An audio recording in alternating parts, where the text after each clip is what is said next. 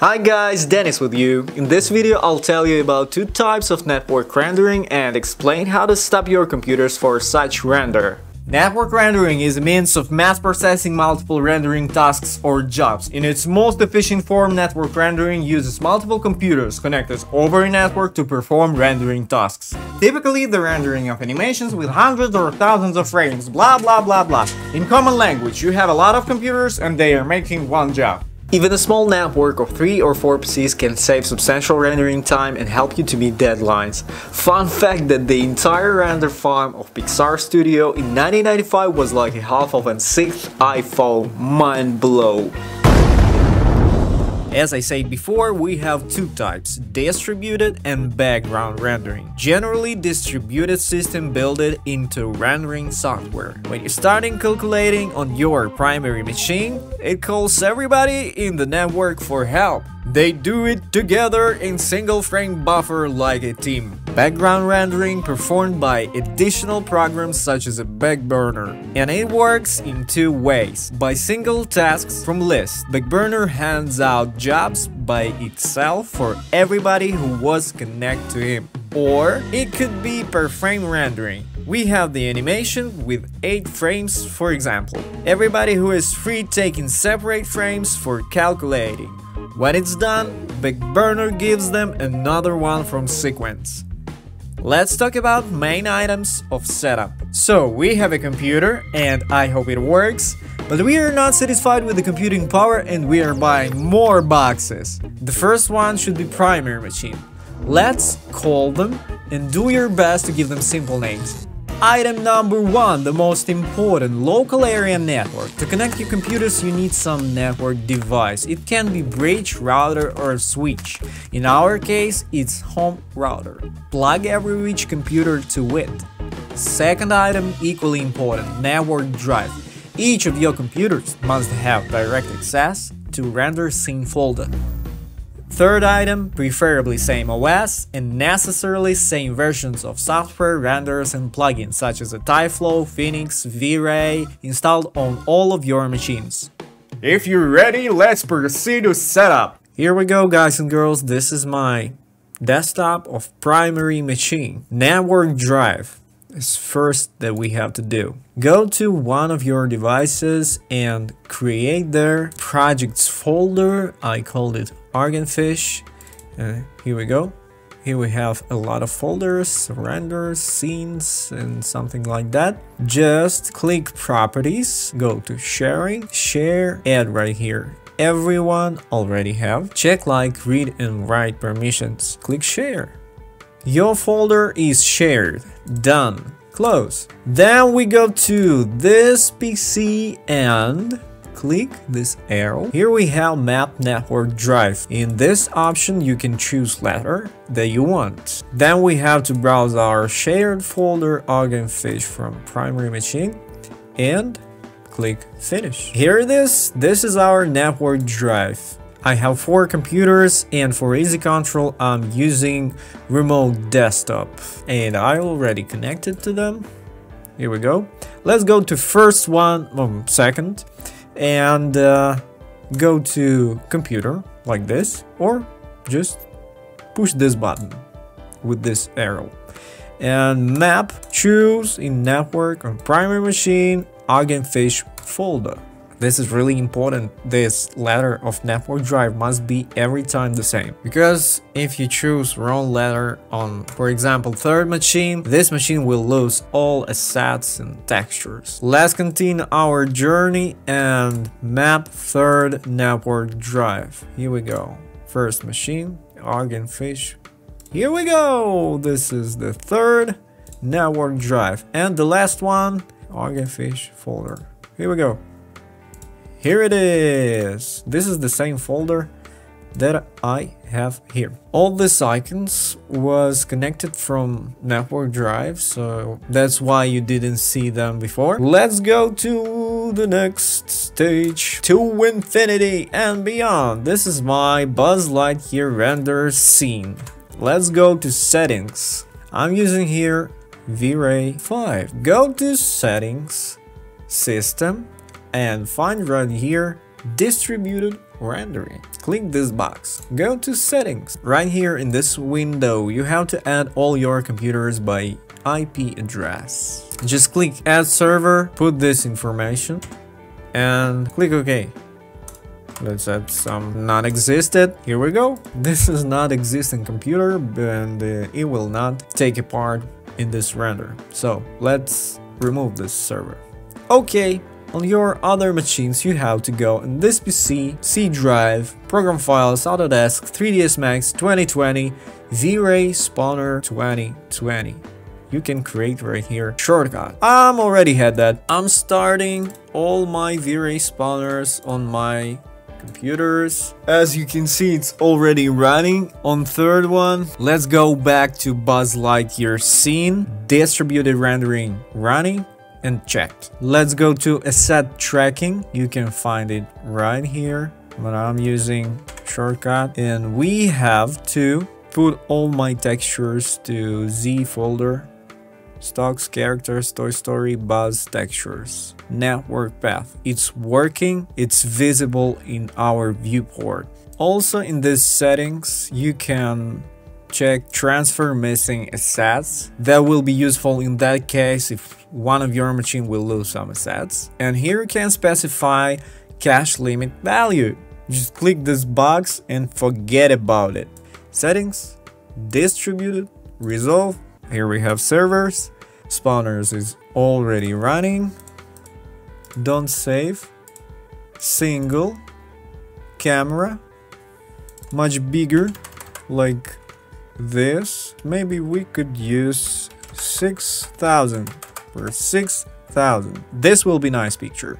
Nice, let's go. So it's telling us that using two hosts for distributed rendering, it's starting something in background. So here we have first computer, ArgentFish first. Here we go, ArgentFish second and third. They are already connected. Scene loaded starting render, starting frame 0. Now we have 3 computers, 48 buckets and it's much faster. As you can see it's not so complicated, it's really simple, just run your spawner on other computers and just check one box and it will start to render together. If you have any questions about this distributed rendering, just leave the comment below. Let's talk about background rendering by using software Backburner. Or you can download it from official website for free. After installation, there you can find three parts of Backburner by this directory, DSPC, local disk C, program files, Autodesk, Backburner. Or you can find it right here. Let's do like this. Manager that is using for receiving jobs from 3ds Max and giving these jobs to registered computers in network. There's only one manager must be active on machine that you want to be primary. Server in its turn must be running on all of your PCs and it tells the manager like hey I'm here I'm free and I'm ready to work and monitor using for monitoring for tracking your jobs. I want to close all this stuff. One interesting detail, when you start your manager for the first time, nothing happens. Don't worry, start it again. And for the first time you will see window like this. Don't touch anything right here, just click OK, this is IP, server ports, that's okay. But that's not really comfortable for me to start manager on computer that I'm working on. I will do that on the second one. And here we go, I changed some icons and as you can see it looks much better because I love clean up my desktop. Guys and girls, let's start everything on this machine. Manager, server, monitor. Monitor is empty because we have to connect to manager localhost by default. You can switch this stuff by automatic search. Here we go. Is automatically find manager in network and connect it to it. As you can see, I have a lot of jobs right here. This is my last project and here is really a lot of frames. This project was like 3800 frames long. It was really long job. But I've done that much faster with 4 computers. As I said before, we have to start all servers.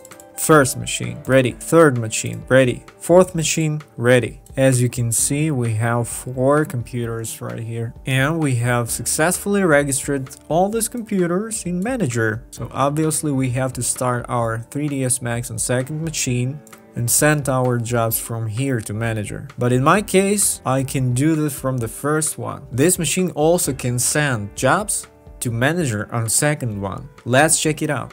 So now we should disable distributed rendering it really can't work in the same time distributed in background but about this we can talk in the next time. Let's use same settings but in this time we have to save our render result and let's choose save file to your PC network drive, zip, uh, some folder, whatever. Target Submit to network rendering. Let's go. Here is the window of network job assignment. Job's name Buzz Lightyear. Nothing complicated. Just click button connect. As you can see we have four computers. On this computer we don't have the same 3ds Max 2020. On this computer we have only 2018. That's why this computer cannot be able to have a part in this render. Just click submit. We got the job and this job assigned for ArgentFish first computer. It means that we have to wait this job right here at the main computer where I'm working on. Here we go, we got the job. I want to show you on another example how to send to manager a bunch of renders. Here we have some scene with a few cameras in it. Let's go to batch rendering and create some different frames. First one, let's check the camera signature image. You can create some presets and choose it from here.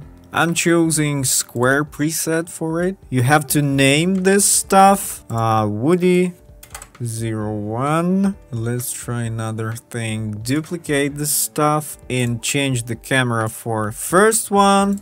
Let's change the preset for character. Let's duplicate it four times and just change the name and change the cameras. So it must be second. Let's check it out. One, two, three, four, five. One, two, three, four. Image 3000, 3000 and another preset. Let's take a look. Is the path is okay? All textures, all renders is okay. Here you go. Set the paths use this path okay? Render preset here you go. Let's try to send this bunch of renders to manager. Just push this box net render in batch render. Push the button render. How many times did i say this word render? Let's rename to woody. Connect. Here we got all machines ready and submit. Here's manager. Got our jobs and send it to another computers. First one assigned to first, second to second, third to third, fourth to fourth. Here you go. First machine, already running. Second machine, running. Third machine, running. And fourth, running. Some computers are finished this job and it turns to black. Here's we have some saved images that we render now. That image is black because here we have a light above the camera. You can just simply push invisible and it will work. Yes, it's work. Let's uncheck. It's not working, as you can see. Just a simple mistake. This is my first 4-core computer and it's rendering so long. But I love this guy. This is i5 processor. Let's go to another camera. It's camera turntable. So we have 60 frames of his turning for Turbo Squid. And let's push right here range. Save file like woody turntable to this directory. Nice job. We want to send our 60 frames to a manager right here. Submit to network rendering. You can rename it like turntable. Connect and submit. Some computers are busy now, but that guys that are free are assigned to some different frames. This is really useful stuff. Big Burner, I love you. Because you can send right here a lot of different scenes, a lot of different sequences, different tasks. Let me show you guys what will happen if you don't have network path and some computers uh, lose sets. So let's set the path from some different place, not from network drive, like from here. In this case, you will get something like this. First machine doesn't have any textures. Third machine, as you can see. Fourth machine, too. But this guy have these textures on his drive, so this is bad. Don't forget to assign all that paths from network drive. Let me show you same thing with distributed rendering. Let's start distributed rendering for 2018. Let's go to settings, resolve servers. Let's start the render. Nothing complicated, here we have some servers adding to this job and we've got second, first. All my four computers are connected to this job but as you can see a lot of them don't have any textures in the AR rendering without it. But only one guy and the last feature that I want to share with you guys. Add your application to run automatically. Just copy this stuff. Put shell startup right here. You can put right here some V-Ray spawner or server manager, everything that you want. As you can see, all my computers are starting with Autorun. Here I have network drive and server because if you don't put this guy right here, you will get something like this. And every time you will have to go to your computers and open this folder. So guys and girls, thank you for watching. I hope you enjoyed this video. Just thumbs up, leave the comments below, and bye. Simple, easy, fast. Be brave to new experience.